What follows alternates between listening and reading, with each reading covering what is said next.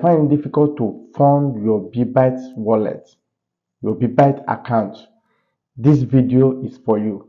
This video will help you to know how you can fund your Bybit account from directly from your bank account using your smartphone or your PC.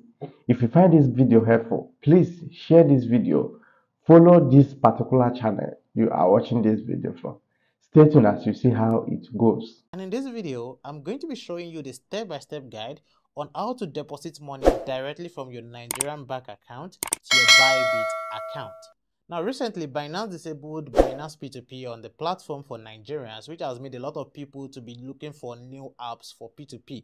And Bybit is one of the new apps you can use for P2P in the crypto space. So if you want to learn how to deposit money to your Bybit account through P2P, here is how to do it. But before I go into that, please make sure you like this video and subscribe to the YouTube channel if you have not subscribed. Thank you. Now here's what you need to do. The first thing you want to do is click on deposit at the top right corner of the screen where the arrow is pointing to. Now once you click on deposit, you have three options. You have deposit crypto, buy with NGN and P2P trading.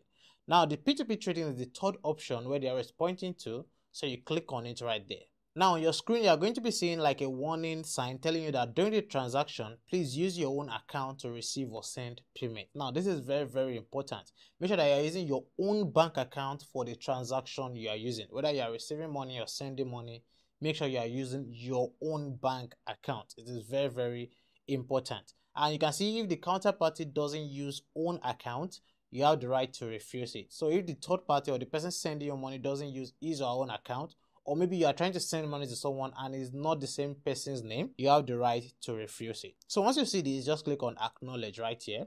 And then the next thing you want to do is to click on buy or sell. Now if you are depositing into Bybit, it means that you are buying. And if you are withdrawing, it means that you are selling. Now to deposit, you click on buy right here. So it's already on buy where the arrow is pointing to.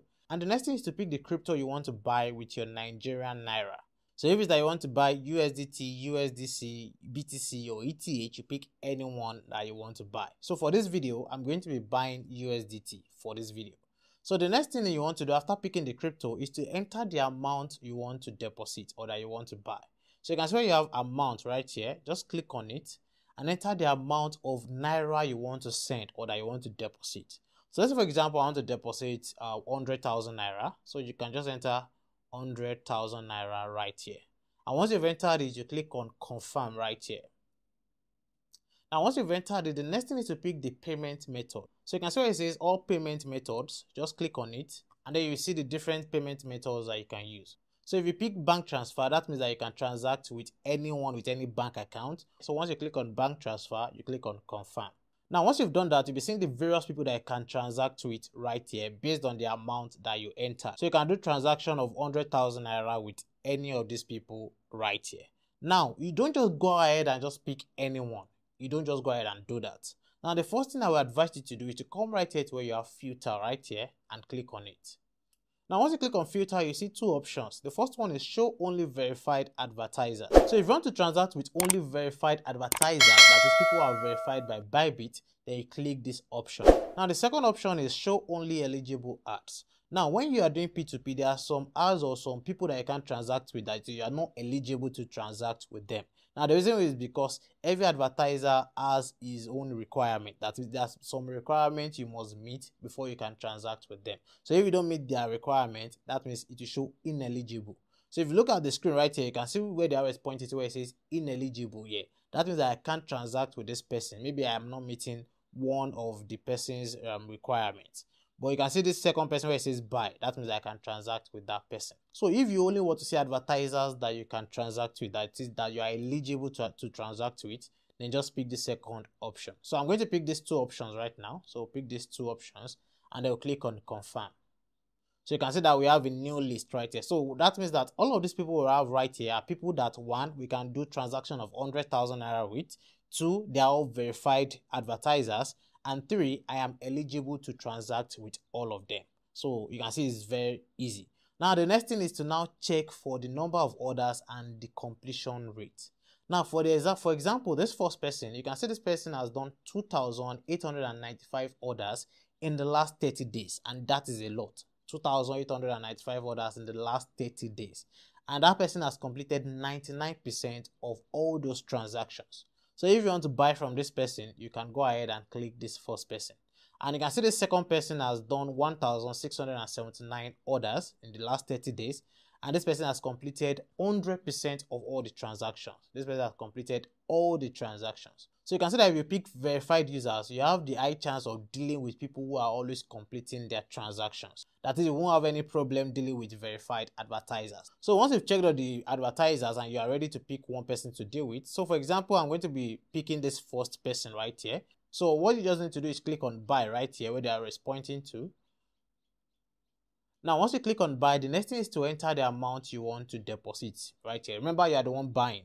So you can either enter with fiat or with crypto. So if you're entering with fiat, that means just enter the amount of naira you want to transfer. So I'll just enter 100,000 naira. And also, if it's that you want to enter it in crypto, maybe you, just want to get, let's say, $100. So just come here to where you have with crypto. You can see where it says with crypto right here just click it and then you enter 100 USDT. This is USDT. So that means that if you are buying 100 USDT, you'll be paying or you'll be sending 159,489 naira. That's it. But I just want to send 100,000 naira. So I'll just come right here to where I have with fiat. I'll come back here and just enter 100,000 naira. So you can see for the 100,000 naira, I'll be receiving 62.7 USDT. That's it. So once you've done that, just come right here and click on buy right here. And then you can see that you have a timer at the top of your screen where it says complete your payment within 14 minutes 40 seconds. It's actually 15 minutes. So you have to complete your payment within 15 minutes. So to make your payment, at the bottom of the screen, just click on pay now. Or if you want to cancel the order, you are no more interested, just click on cancel order. So I'll click on pay now and on the screen is going to show you the bank account number, the bank branch and the bank name. So you can see the bank account number right here and then the bank name. So all you just have to do is copy the bank account number and also you can see the name right here. So once you've seen all of these details, again, copy the account bank account number and then go to your bank app to transfer the money. So I'll go to my bank app right now to transfer the money. A few moments later. So as you can see on the screen right here, I've just sent 100,000 Naira to the person's account. So once you've done that, then you go back to your Bybit app. So right now I'm back on the Bybit app and like I said, I've transferred the money. And you click right here on where you have payment completed. And then you also click on this box right here to confirm it. So you click on confirm. And then next thing you want to do is that you wait for 10 minutes for the crypto to be released. So see right here, the coins you've bought will be released within 10 minutes. So you can see right here, within just one minute, this person has released my crypto. So you can see completed. And then if I want to see my crypto, I'll just click on view my asset right here. And then you can see my asset is under my funding wallet. So you'll be able to see your USDT or any crypto that you bought in your funding wallet. And if you now want to use the money to trade, you will now transfer it to your spot wallet or to your derivatives wallet. And also if you want to learn how to do derivatives trading and you want to learn how to do spot trading on Bybit, I have full guide and full videos on all these tutorials. The links to those videos will be in the description below. Or you click on the videos you are seeing on your screen right now. Thank you for watching. I'll see you in another video. Bye.